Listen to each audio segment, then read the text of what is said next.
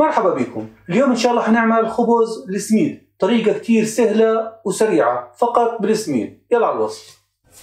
سميد ناعم. نفس السميد اللي بنستخدمه للنمورة وللبسبوسة وللهريسة يكون ناعم. كوب ونصف سميد ناعم. 200 جرام.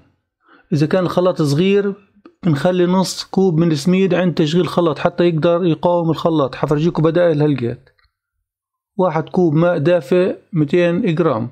استخدم دائما نفس الكوب لنفس الوصفة إذا كان الكوب صغير أو كبير نفس الكوب لنفس الوصفة.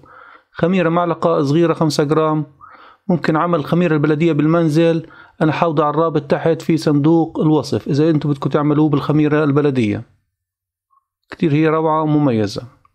ملح نص معلقة صغيرة أو حسب الذوق. نطحن المكونات. وبنضيف نص الكوب بالتدريج.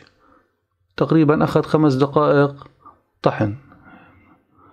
يعني حتى يقدر يقاوم الخلط لأنه الخلاط صغير. سأوضع جميع المكونات على الشاشة إذا كنتم بحاجة إلى التقاط صورة للمكونات. شايفين كيف؟ عجنة كتير سهلة وبسيطة. بعد خمس دقائق تصبح العجنة جاهزة. هيك بعد خمس دقائق أصبحت جاهزة.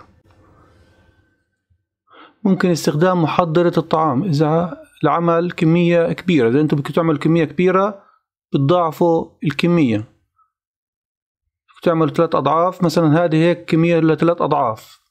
تضربوها بثلاثة هذه بتختصروا الوقت. إذا أنتم بدكم تعملوا كمية كبيرة.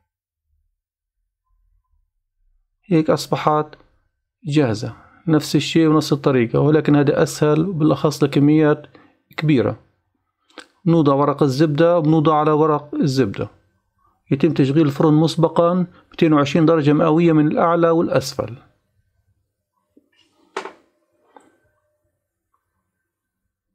ممكن نوضع السمسم أو البذور هو اختياري حسب ذوقكم.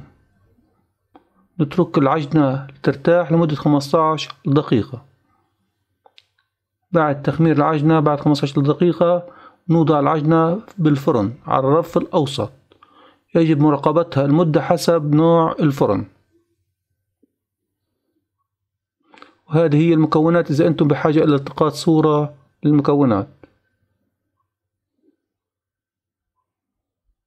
هيك أصبحت جاهزة. نتركها تبرد. كتير هو روعة مميز. لكل رغيف مية وستين سعرة حرارية. كل واحد. شايفين كيف؟ كتير هو روعة. بسيط. ملاحظة. يجب عليكم التأكد من هذه المكونات تناسب نظامكم الغذائي أو الوضع الصحي. لا يوجد وصفة تناسب جميع الأشخاص. أنا لست طبيب مختص. دائما الإنسان هو طبيب نفسه. شايفين كيف كتير هو روعة. ولين وطري كتير مناسب للحشي.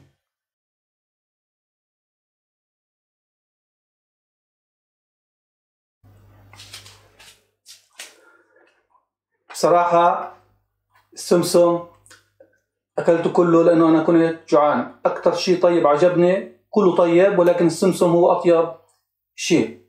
أتمنى تكتبوا لي رأيكم تحت بالتعليقات لأنه رأيكم كثير بهمني.